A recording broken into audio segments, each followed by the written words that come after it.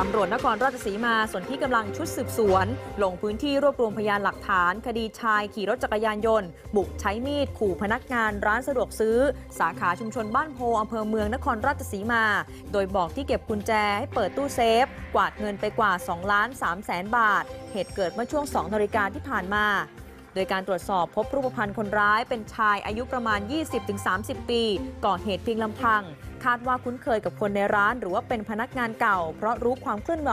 ทางหนีทีไล่ของร้านไปอย่างดี ว่าร้านมีการรวบรวมเงินลูกค้ามาเก็บเอาไว้ในตู้เซฟเป็นจำนวนมาก ประกอบกับเป็นการชิงเงินที่ง่ายดายเจ้าหน้าที่จึงได้สอบปากคำพนักงานที่อยู่ในเหตุการณ์ 3 คน และอดีตพนักงานอีก 3 คนที่เคยอยู่สาขานี้ แต่ว่าย้ายไปอยู่สาขาอื่นอย่างละเอียด เบื้องต้นพบพิรุษจึงเตรียมขยายผลระดมชุดสืบสวนล่าตัวคนร้าย เชื่อว่ายังหลบหนีไปได้ไม่ไกล